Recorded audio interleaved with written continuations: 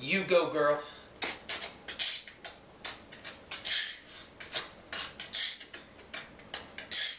Let me show you people how to bust a rhyme. I'll tell you about the sacraments in just a little time.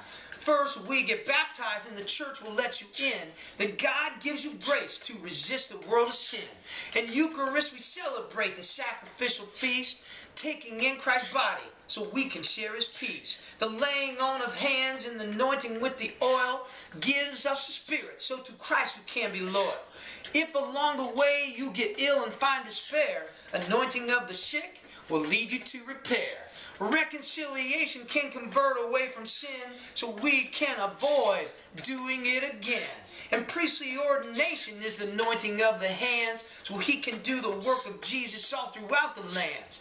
If in holy marriage you should wed your lovely spouse, God will give you strength to build a loving house. Our sacraments are rituals that fill us all with grace because they help us see God's presence in this holy space. So even though I cannot rap as good as Dr. Dre, be, sacrament to others each and every day.